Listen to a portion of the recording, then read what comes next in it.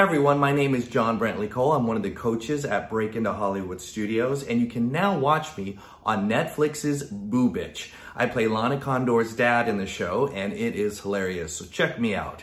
Now, I got that role through auditioning. Just like most actors, what you do is you submit a self-tape, and I followed all the self-tape rules, uh, and then the casting directors watch the tape. Now, if they like you, then they uh, send you to the producers. After the producers all pick who they want, then they gotta send it to the studio, which in this case was Netflix. It could be Paramount Plus, it could be Apple, it could be whoever is producing the show. In this case, it was Netflix producing the show. And so they had to approve me. So I had to go through multiple stages to get the role. But I'm glad I did, and um, I had a lot of fun shooting it. We'll be right back.